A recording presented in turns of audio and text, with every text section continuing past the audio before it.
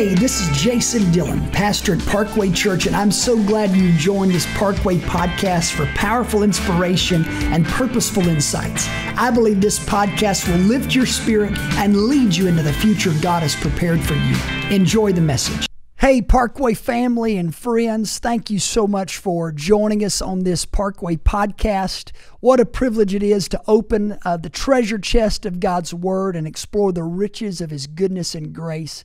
I have been thinking about and studying the life of David and want to continue talking to you about David. There is just so much about his life that, that can be emulated, and uh, I believe we need to do that. Uh, many of you have heard of the stick figure Bill. It's a meme on Facebook, and you could look it up, social media. It is a picture that portrays a funny message. Well, the one that I saw recently said, This is Bill. Bill is on Facebook. Bill doesn't post about how tomorrow is Monday or the weekend. Bill knows everyone has a calendar. Bill is smart. Be like Bill. Well, this is David. David has faith in God. David talks to God about everything because he believes God cares about every part of his life. David is smart. Be like David. So, on last podcast, we were talking about being like David, and I want to continue that because there are elements of David's life that I personally want to emulate. And I believe once you see them, and after God allows me to explain it, you'll say, Yes, that's what I want to do also. One of those things is that David, um, David was a man of prayer. In fact, now God says, I have found David a man after my own heart who will do all my will. What drew God to David? I believe it was David's dependency upon God. David manifested a dependency that attracted God to David because he was not arrogant or proud or um, he didn't express a confidence to the place where I can do this, God, and I don't need your help. You see, he was the youngest of Jesse's boys, smaller than the other brothers. Because of this, there was a dependency on God that became the basis for God to trust David with great responsibility. You see, many times in life, men and women have been given responsibility over something, and when the task was done, they took credit for it. Well, in God's kingdom, only one deserves the credit and the glory, and that is Jesus Christ. So I believe that God looked at David and said, There's a dependency about him, a dependency on me, that when I give to him my kingdom, he will not take credit for it for himself, but he will give God the glory. Now, I love America. I love our nation. I'm proud to be an American. And I love the Declaration of Independence. But we cannot be independent saints to God. We must be dependent. And the greatest manifestation of our daily dependence upon God is prayer. When we pray, we're declaring our dependency upon God. When we don't pray, we are saying very loudly to God, God, I can handle life without you. And let's just be honest. How many of you can handle life without God? How many of you can handle 2020, coronavirus, the ups and downs, unexpected twists and turns of this year without God? Not I. I want to manifest a daily dependency and a daily desire to connect with God and have God's input in every area of my life. James chapter 4 verse 8 says, "Draw near to God, and he will draw near to you." And I believe that's what attracted God to David is that David was attracted to God's sufficiency. He knew his own deficiencies. He understood God's sufficiency. So he said, God, I need you. Not just I need you, but I want you in my life. I want you in every area. And because of that, David prayed. David sought after God. I believe at an early age, David manifested this desire for God, and it set him apart from everybody else. He was not like everybody else. And we are who we are by God's grace and by God's help. I say that because recently my aunt uh, reiterated a story to me that I vaguely remember, she was at our house and talking to my mom, her sister. She said, Sandra, we have got to, to depend on God. We have got to pray. We've got to be people of prayer. And there was such a stirring, a move of the Spirit of God. She said that I came over. I was about 10 years old, and I knelt down there at the chair or the couch and I said, Aunt Betty Rose, would you teach me how to pray? Now, I, I, tell you that story not because I'm anything, God forbid, but by the grace of God. God puts in us desires, He puts in us traits that, that manifest themselves. And you may be saying, well, I've never had that kind of desire. If I could encourage you today, pray and say, God, give me a desire to want to pray. I have often done this. I've prayed, I said, God, shape my desires.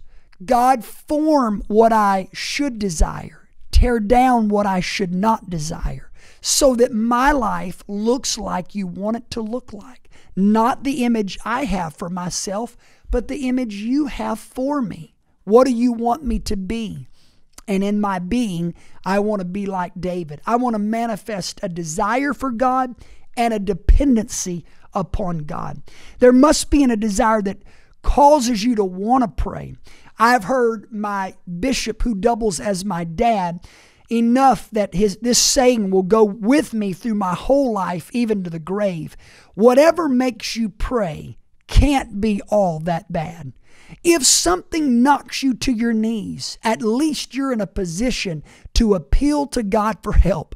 And oh, ladies and gentlemen, when you appeal to God in prayer, I'm telling you, the Lord is going to come through for you. When you bring your petition to God with a sincere urgency, saying, God, only you can help me through this situation. I believe that God's going to do that. I feel even now the Spirit of God as I'm talking to some of you that you're facing urgent crisis. You're facing situations that, unless God manifests His power and His deliverance, it's going to be doom and gloom for your life. But I appeal to you that you would take time, make time to find a place to pray. And when you pray, believe God, that God can part the Red Sea in one night, that God can turn things around in the space of just a moment of time. It doesn't take God long to work. And if you will appeal to God through prayer, God will do a great work. What I love about David is David's prayer, his verbiage to God was always in the first person. It was never, um, God, you know, we desire you or they desire you. It was God, I desire you. Listen to what David says in Psalm 27, verse 1 The Lord is my light and my salvation. Whom shall I fear? The Lord is the strength of my life. Of whom shall I be afraid? When the wicked, even mine enemies and my foes, come upon me to eat up my flesh, they stumbled and fell. Though an host should encamp against me, my heart shall not fear. Though war should rise against me, in this will I be confident. One thing have I desired of the Lord, that will I seek after, that I may dwell in the house of the Lord all the days of my life, to behold the beauty of the Lord and to inquire in his temple. David, though beset outwardly and all around him with circumstances and situations that sought to trip him up, to trouble him, to trounce him, to completely destroy him, he said, I'm not going to fear those things because I have a one desire. That is, that I may live in the presence of God and in doing so behold his beauty and inquire in his temple. I want the opportunity to ask God about anything and about everything. I encourage you, don't trivialize the small things as though God doesn't want to know about them. Don't over exaggerate the large things as though God cannot handle them. Give God everything. Talk to God about everything and in every place do so. You know, Paul said, I would that men would pray everywhere, lifting holy hands without wrath and without doubting. So, where should we pray? Everywhere. In the kitchen, the car, the living room, the bedroom, in the woods, out on the golf course. I know what some of you are thinking. God doesn't answer prayers on the fishing boat. Well, he sure answered the desires of Peter whenever they had toiled all night and had caught nothing. And Jesus said, Cast your nets on the other side. And they did so. And they, they had more fish than they knew what to do with. They had to call other boats to come over and help to haul the fish back to the shore. What am I saying? Pray and do it about everything. Tell God about it. I really believe that that's what attracted God to David is that David just said, "Lord, I'm going to trust you." at all times. In fact, Psalm 73 says, Behold, but it is good for me to draw near to God. I have put my trust in the Lord God that I may declare all thy works. So when I have been reading through First and Second Samuel, and I, am reading about David, I begin to notice that David did indeed pray about everything. Samuel 23 tells us, Therefore David inquired of the Lord, saying, Shall I go and smite these Philistines? And the Lord said to David, Go and smite the Philistines and save Keilah. And David's men said unto him, Behold, we be afraid here in Judah how much more than if we come to Keilah against the armies of the Philistines? Then David prayed or inquired of the Lord yet again. And the Lord answered him and said, Arise, go down to Keilah, for I will deliver the Philistines into thine hand. It's often good to pray and then pray again. You pray once and God gives you direction, and then the fear of actually sets in of what you're really about to do.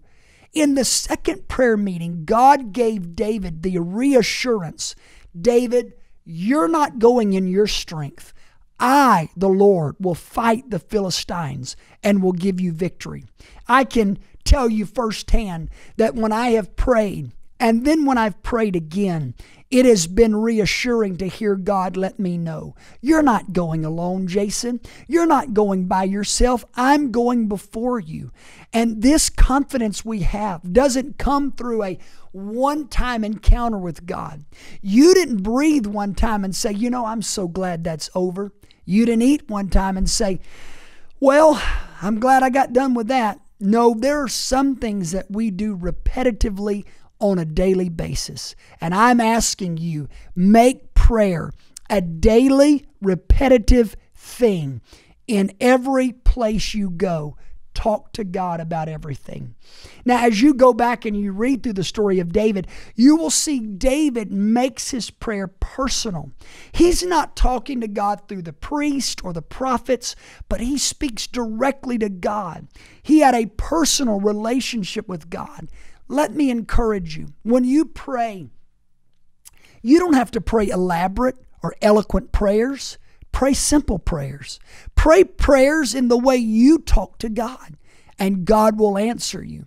I say this because I have heard and seen people express the trepidation over, well, I don't pray like they pray. They pray so good. I, I'll get them to pray for me because maybe God hears their prayer more than he hears mine. And here's what I'm come to tell you.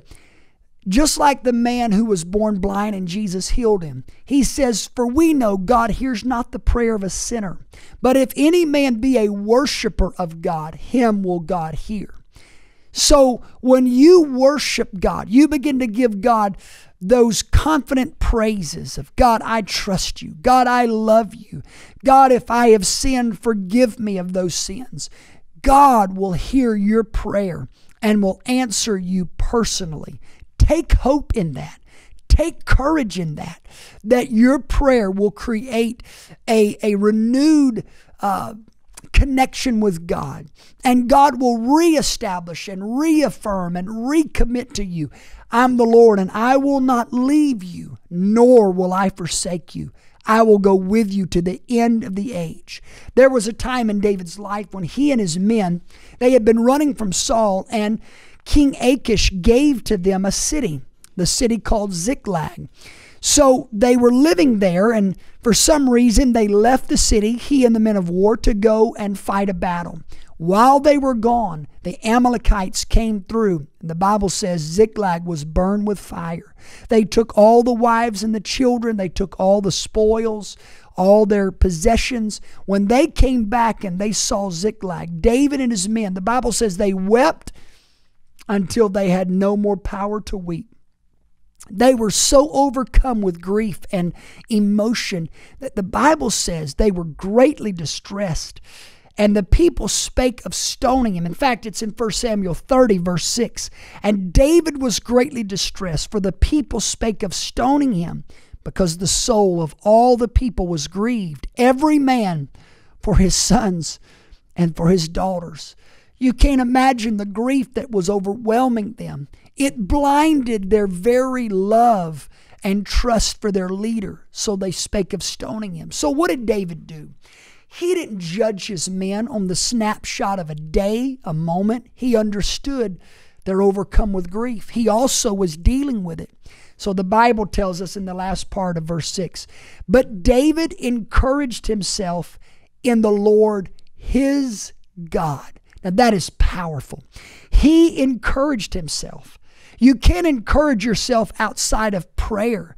Prayer is the means whereby we are reminded and we are given the courage to face another day, knowing that God is in control. You can't encourage yourself on Facebook. You can't encourage yourself via social media or television. Those things will suck the very life out of you, and the courage you had will fade away. But something about going to God in prayer. David tells us in verse 7 he said to Abiathar the priest, Ahimelech's son, I pray thee, bring me here the ephod. And Abiathar brought there the ephod to David. And David inquired at the Lord, saying, Shall I pursue after this troop? Shall I overtake them? And God answered him. Oh, no more beautiful words could be spoken when God answered David in the most distressing moment of his life. God was not absent, but through prayer, God was present. God is a present help in the time of trouble. And God answered, and said, Pursue, for you shall surely overtake them, and without fail recover all. God was saying, I will not allow you to fail. If you will just pursue, I will cause you to recover all. How did this certainty and assurance come about? It came because of prayer. So, friends, if you will take time today to seek the face of God, God will give you certainty and assurance that will cause you to walk confidently into your future, knowing nothing that's been taken from me will the devil be able to keep. I will without fail recover all. So, as we move on through Scripture, um, and you come to the end of David's life, it's revealed in Psalm 72 when David was praying for his son Solomon. In the latter portion of that chapter, Blessed be the Lord God, the God of Israel, who only doeth wondrous things, and blessed be his glorious name forever. Let the whole earth be filled with his glory.